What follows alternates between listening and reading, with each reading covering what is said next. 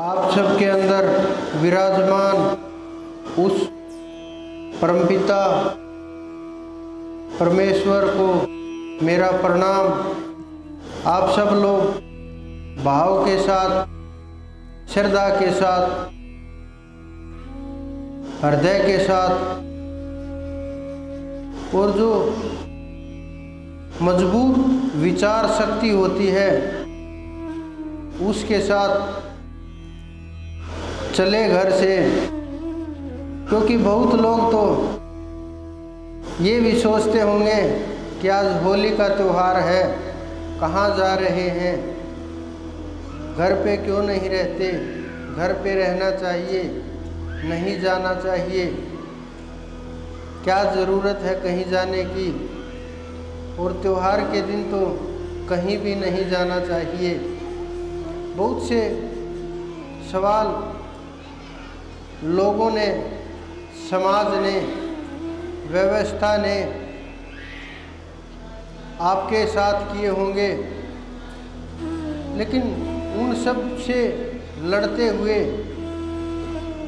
अपने ऊपर काबू करते हुए, अपने विचारों को समेटते हुए, भाव को मज़बूत करते हुए आप यहाँ तक पहुँचे। अगर आप परमात्मा के रास्ते पर चल पड़े तो फिर इन चीज़ों का महत्व नहीं रहता। महत्व रहता है कि हमारी कितनी चढ़ाई हुई, कितना हम प्रयास कर रहे हैं, कितना भजन हो रहा है, कितना सुमरण चल रहा है, हमें कैसे परमात्मा के नज़दीक जाना है कैसे मन को काबू करें? कुछ लोगों ने साधना की शुरुआत की। कुछ अच्छी स्थिति में हैं। कुछ पहुँच गए वहाँ तक। आज जिस उद्देश्य से कुछ लोग अलग उद्देश्य से आए हैं, कुछ लोग अलग उद्देश्य से आए हैं। कुछ लोग बहुत दिन हो गए काम चल रहा था। कुछ लोग मेरे पास बहुत पहले चले गए, मैं आज भी उनका काम करता रहता हूँ।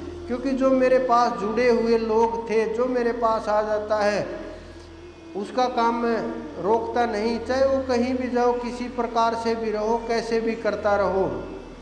अब तक जो था, वो चलता रहता था, मैं देखता रहता था ज़रूरत के अनुसार। लेकिन अब संगत धीरे धीरे बढ़ रही है, प्रभाव भी बढ़ेगा, दबाव भी बढ़ेगा। जो आप लोगों के कर्म हैं, वो भी टकराते रहेंगे। तो जो दिल के साथ जुड़ाव है, वो लोग तो हमारे साथ जुड़े ही रहेंगे, कितना भी कुछ भी हो जाए, वो लोग कहीं भी रहें, किसी भी जगह रहे, किसी भी स्थिति में रहे, जहाँ भी आप उस परमात्मा को याद करोगे, नाम के को याद करोगे, भाव से याद करोगे, कोई आपको रोक नहीं सकता, किसी चीज़ का प्रभाव नहीं होता।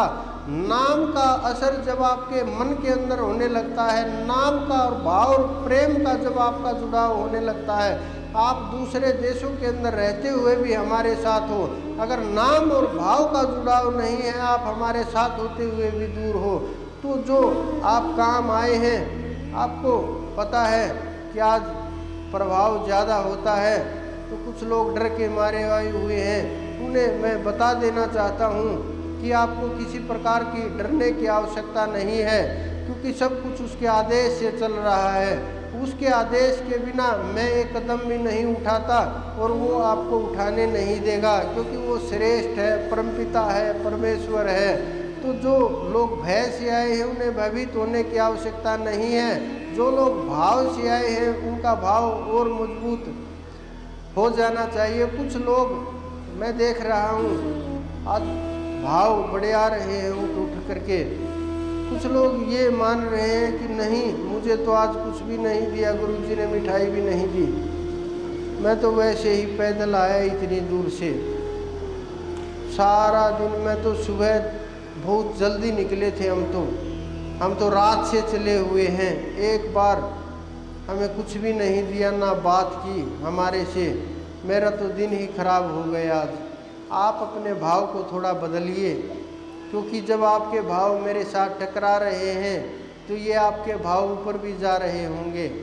आप ये समझिए, आप मेरे लिए यहाँ नहीं आए हैं, क्योंकि आप, मैं कई बार बोलता हूँ कि अगर आप मेरे लिए आते तो आज से 20 साल पहले आते 30 साल पहले आते। आप परमात्मा के लिए आए हैं, परमात्मा की प्राप्ति के लिए आए हैं, और जब आप उसके लिए आए हैं तो वो आपके एक एक कदम को देख रहा है। जब आप एक एक कदम बढ़ाएँगे, संत मिलन को चालिए तजमाया, कट, कपट अभिमान एक एक कदम आगे बढ़े कोट कोट यज्ञ समान।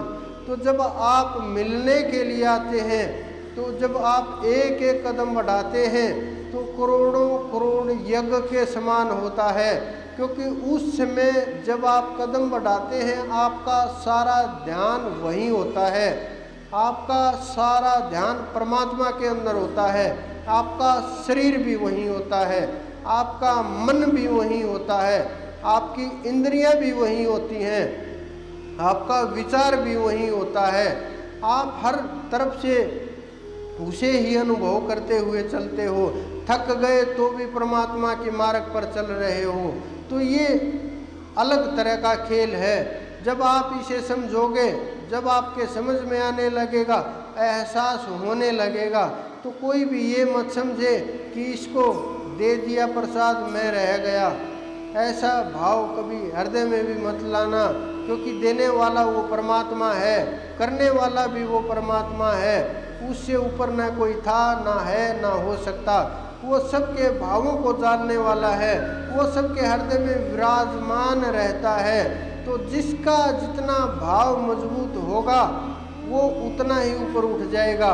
वो क्या पता आपको क्या देना चाहता हो, वो क्या पता आपको क्या दे रहा हो। आपको सोच भी नहीं सकते, आपको वो कहाँ ले जाना चाहता हो। तो ऐसे लोग अपने मन के अंदर ऐसे विचारों को रोक करके रखें। मज़बूत भाव के साथ, मज़बूत श्रद्धा के साथ आप परमात्मा के मार्ग पर बढ़िए। जब आप परमात्मा के मार्ग पर बढ़ेंगे, वो एक कदम बढ़ा करके आपके सारे कष्टों का हरण कर लेगा। आपके हाथ को पकड़ करके सबके बीच से उठा करके ले जाएगा। आपको एहसास भी नहीं होगा, उसने आपको क्या दे दिया। जब आपको पता चलेगा क्या मिला, आप सोचते रह जाएँगे। जितने भी लोग मेरे सामने बैठे हुए हैं, इन सब की हाजिरी में दरबार के अंदर लगवा दूँगा। मैं सुबह से लगा हुआ था, ध्यान के अंदर और एक एक काम को कर रहा था। कुछ लोग जो थोड़ा लेट पहुँचे, उनके काम कुछ के बाकी हैं, वो अभी मैं जाने के बाद करूँगा। लेकिन सबकी हाजिरी लग जाएगी। जो लोग नहीं पहुँचे, जिन्होंने बहुत वर्ष हो गए हमारे से दूर हुए, उन्हें थोड़ा सा अब कष्ट ज़रूर होगा, क्योंकि जो हम कार्य कर रहे थे, वो थोड़े से कम कर देंगे, क्योंकि इधर उधर जब उनका काम चल जाता है हमारी आवश्यकता कम है तो हम कम ही बीच में कूदते हैं किसी काम के। तो उनका तो प्रभाव धीरे धीरे कम होता चला जाएगा, और जो उनके अब तक सारा सिस्टम रोक करके रखा था, संभाल करके रखा था, उनका प्रभाव बदलने लगेगा। लेकिन जो भाव के साथ जुड़े हुए कहीं भी हो, पृथ्वी के ऊपर, चाहे पृथ्वी से ऊपर किसी भी लोक के अंदर, उनको न कोई रोकने वाला होगा न कोई टोकने वाला होगा, और न कोई रास्ता उनका रोक सकता है, न कोई दरवाज़ा बंद कर सकता है। आपको बस नाम रटने की आवश्यकता है।